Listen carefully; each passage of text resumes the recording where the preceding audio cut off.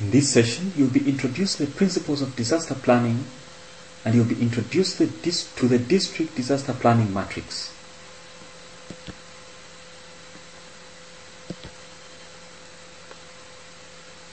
Why do we plan?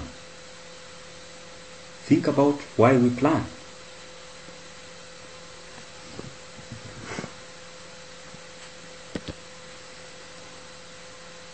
We plan for health emergencies to get better prepared to respond to the disaster and to save lives. To know the resources needed and activities anticipated. Resources are limited and have to be used in the best possible way.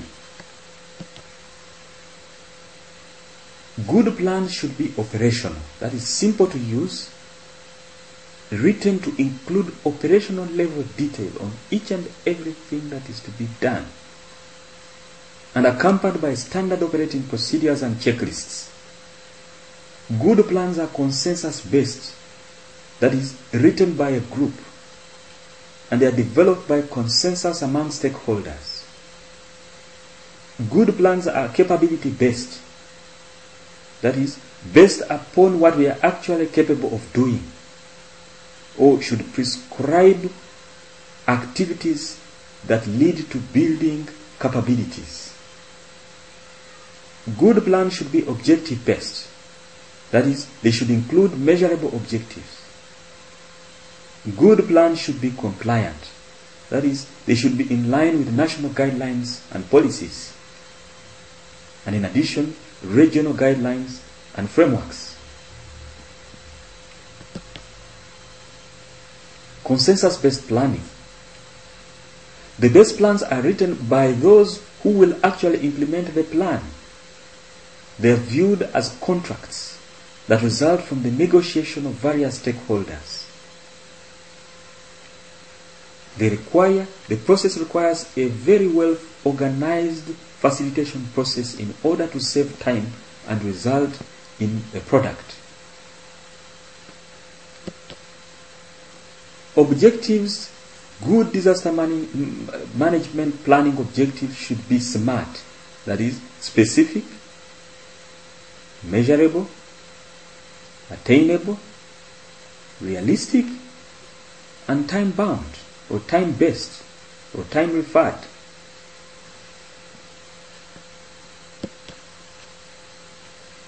Good planning objectives answer five questions. What tasks do we perform during the disaster? Who will perform the tasks? How will we perform the tasks? When will we perform the tasks?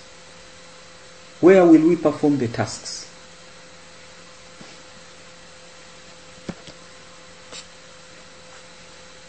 Plans may be made according to time, that is short term plans, intermediate term plans, and long term plans.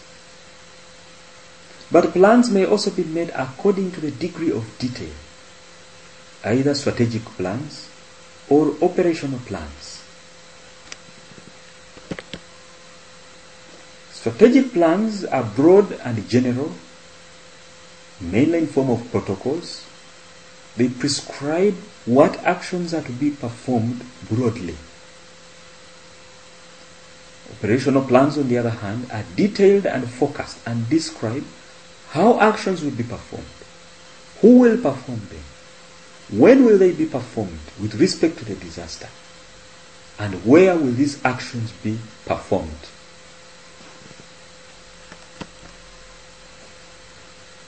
Strategic plans do identify the main strategy, provide overview of response, and identify collaborations. They do not engage operational level health workers and stakeholders. They describe they do not describe detailed actions and they often do not provide references in form of checklists, forms and templates.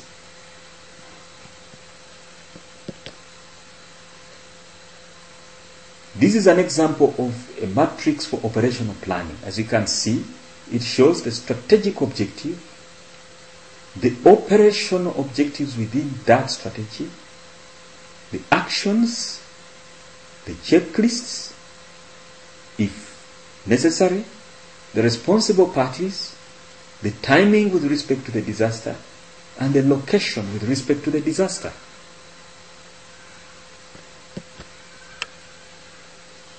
The planning cycle involves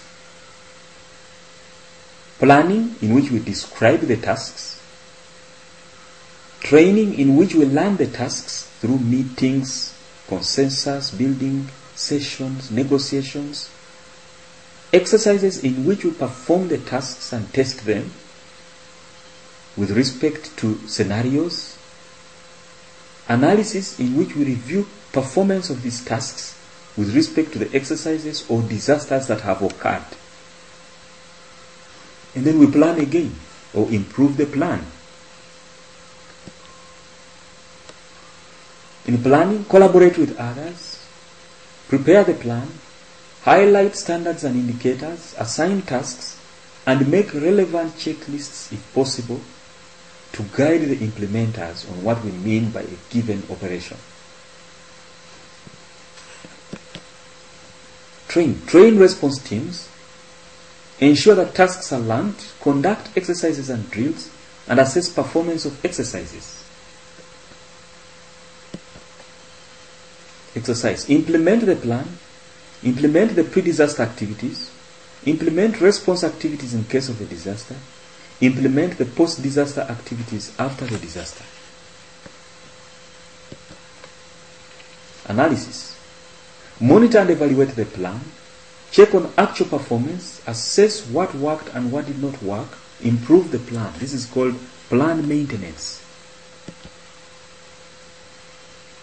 Problem issues in current disaster plans include the fact that the plans are cumbersome to use, checklists that fail or are not relevant to the disasters, focus on tasks rather than management, the many possible hazard scenarios, so we try to plan for every possible hazard that is likely to hit our district, and then lack of clear objectives and measures of effectiveness. How do we know that we have responded appropriately?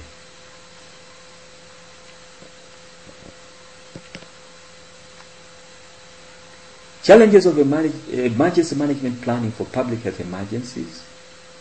Planning must be written by consensus among all stakeholders, that is, planners, responders, and managers. Planning should not be an end in itself and should not be more important than the plan. It should be a way for everyone to learn the plan so that it is implemented.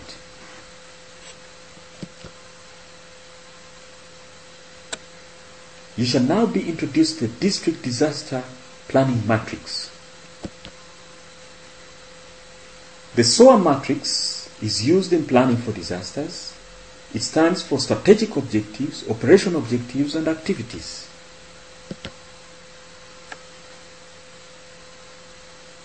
Districts are already used to planning using matrices. The strategic objectives in the matrix have already been prepared for you based on the sphere standards. The operation objectives have already been prepared for you based on the sphere standards. These were prepared by the Regional Disaster Management Training Team and discussed and analyzed. These pre-prepared strategic objectives and operation objectives are contained in a matrix that we shall issue to you and it is available on this resource. It is called the SOA Library, standing for Strategic Operation Objectives and Activities. So under each operation objectives, we expect several activities. Your task is to select the appropriate activities that suit each operation objective. Revise the objectives if needed so as to suit your local context and situation. Some of them can be merged, some of them can be split, some of them can be rewarded.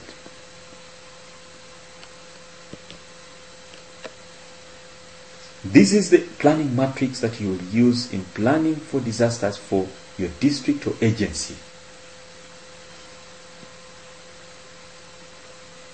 It shows strategic objectives, operation objectives, activities, responsible parties, timing and location, and an estimate of the budget. Being operational plans, they provide this level of detail so that we can know who will exactly do what in a disaster situation.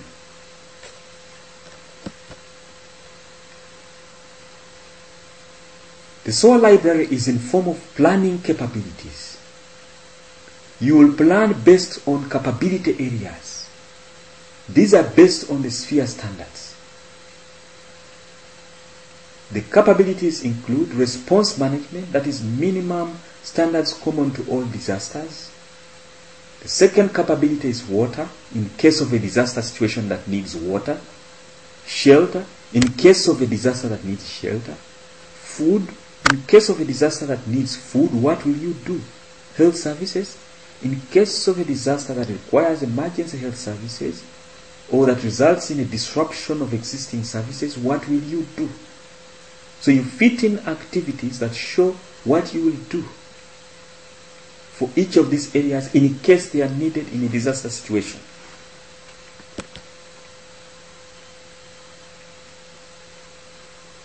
When you make a plan based on these capabilities, the five capabilities mentioned, this is called capability based planning. When taken together, the sum total of capabilities is what is described as capacity.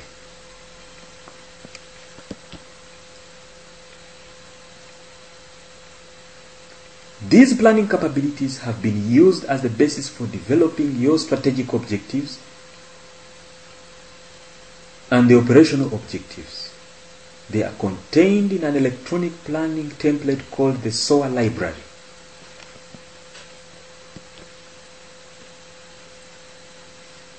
In this extension activity, try and refer to the sphere manual and match the strategic and operational objectives to the response areas that are prescribed in the sphere manual. You will see that they are matched. However, they've been revised and enhanced to include issues that were left out and to make them relevant to the Eastern Africa region. Have a brief exercise to check on this.